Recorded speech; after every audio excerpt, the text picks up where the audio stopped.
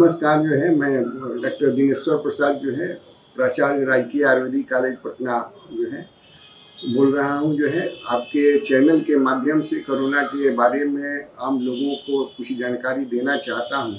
इस संबंध में बहुत लोगों को जानकारी हो गई है। मुख्य रूप से लक्षणों के बारे में लोगों को अभी भी कुछ भ्रमित है जो है, कुछ गलत फहमियाँ हैं जो है, कि सामान्य जो सर्दी खांसी को भी लोग कोरोना मान करके जो चल रहे हैं एक्चुअल लक्षण जो होते हैं वो सामान्य रूप से खांसी, सर्दी जो है आपको, उसके बाद बुखार जो है और गले में तकलीफ़, ये मुख्य रूप से लक्षण हैं, लेकिन ये सामान्य भी होते हैं जो है और कोरोना के भी लक्षण होते हैं तो इसमें बाइफर्केट करना बड़ा मुश्किल हो रहा है। और लोगों को जो है सामान्य खांसी, सर्दी, बुखार भी हो रहा है तो लोगों को एक आशंका हो रही है या आसपास के लोगों में हो रहा है, उससे एक पैनिक स्थिति बन रही है। तो सबसे पहले तो ये देख लें कि जो है कि सर्दी खांसी बुखार जो है अगर हो रही है तो उसके बारे में बचाव जो जनरल है वो करें जो है। और तीन चार दिनों में अगर ठीक नहीं होता है तो जो आसपास के जो भी डॉक्टर हैं उनसे ज़रूर संपर्क करना चाहिए।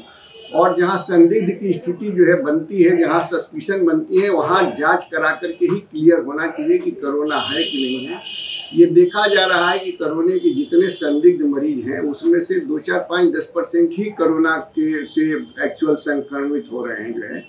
तो संक्रमण होने के बाद तो आप जानते हैं कि आइसोलेशन की प्रक्रिया करके उसको जो है, जो सरकार की व्यवस्था है, उस सरकार की व्यवस्था के अंतर्गत जा करके वहाँ विधिवत ट्रीटमेंट लेना चाहिए। इसमें एक मैं ये भी कहूँगा कि भय संकोच नहीं होना चाहिए। लोगों को है कि मैं कैसे कहूँ कि कोरोना हो गया या कोरोना होने के बाद मैं कैसे अपने को सर्वाइव करूँगा? तो सरकार की तरफ़ से व्यवस्था काफ़ी है और हम समझते हैं कि वो सफल व्यवस्था है। आप देखे होंगे कि देख, देश में जितना संक्रमण का जो मरीज़ मिले हुए हैं, उसमें बहुत कम लोगों को जो है आइडेंटिफाई हो पाया है और जो आइडेंटिफाई हुए हैं, उसमें से काफ़ी लोग ठीक भी हुए हैं, जो है और बिहार में तो अभी तक जो है केवल सस्पेक्टेड केस मिला है, कोई भी कंफर्म केस नहीं मिला है। इसलिए हम लोगों को एक तो कि पैनिक होने की बहुत ज़रूरत नहीं है, घबराने की ज़रूरत नहीं है। सामान्य सर्दी, खांसी, बुखार या नजला हो जाए तो इसमें सामान्य उपचार करना है और उसके बाद डॉक्टर से। इससे बचाव के लिए ज़्यादा सचेष्ट रहना है, क्योंकि ये हम लोग ऋतु संधि कहते हैं कि आप जानते हैं कि मौसम में बदलाव हो रहा है तो इस मौसम में बदलाव के कारण भी जो है सर्दी, जुकाम, खांसी होता है जो, और इसी में से कुछ इन्फेक्शन के माध्यम से कोरोना हो सकता है। तो हम सर्दी, खांसी, बुखार का जो बचाव अगर करते हैं तो उससे भी बुखार होगा तो उससे भी सुधार होगा जो है। तो इसके लिए हम लोग के यहाँ जो है दो तीन चीज़ जो है बहुत बेहतर जो है पूरे ऑल इंडिया पर देखा गया है जो है हमारी गवर्नमेंट ऑफ़ इंडिया की आयुष मिनिस्ट्री है, उसके तरफ़ से भी एडवाइजरी जो है हुआ है कि एक तो कि रोग प्रतिरोधक क्षमता को बढ़ाया जाए जो है, उसको कम न होने दिया जाए तो इसमें गिलोय का नाम आप जो है, होगा जो है, उसकी जो है दवा भी आती है, गिलोय बटी आती है सनसमनी बटी आती है संजीवनी बटी आती है जो है, फिर महालक्ष्मी विरास रस जो है नाभि होता है। इसको अगर लिया जाए तो हम चाहते हैं कि इससे ये होगा। फिर जो है गोल की तुलसी का पत्ता और अदरक का काढ़ा लिया जाए जो है तो ये भी इससे भी काफ़ी बचाव होने की संभावना है।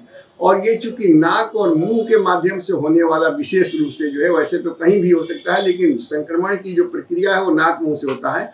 तो हम लोग यहाँ नस्य कर्म होता है, वो नस्य कर्म होता है। सिंपल में आप समझिए कि नाक में तेल डालना तो अगर कहीं नहीं, कुछ नहीं मिले तो सरसों तेल में कपूर डाल करके अगर नाक में डाला जाए, दो से चार गुण तो उससे बचाव हो सकती है, नहीं तो हम लोग के यहाँ क्षण बिंदु तेल आता है, अणु तेल आता है, अगर उसका जो है, अगर दोनों नाक में डाला जाए और उसी को डाल करके गार्गलिंग किया जाए। गार्गलिंग जो है कि जिसको हम लोग गलाला या कुल्ला कहते हैं तो वो भी काफ़ी हद तक ये है जो है।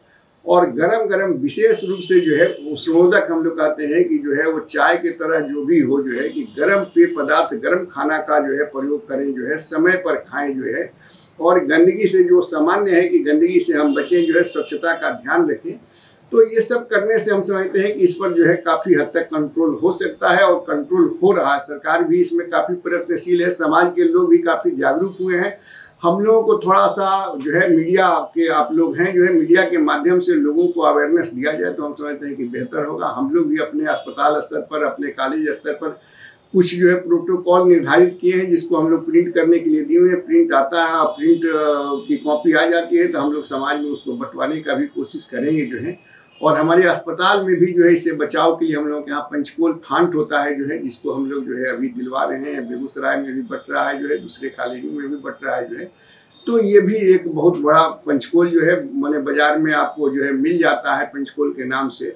तो इसका अगर काढ़ा सिंपल बना करके लिया जाए तो सबसे बेहतर हम समझते हैं कि बेहतर रिज़ल्ट हो सकता है। धन्यवाद जो है।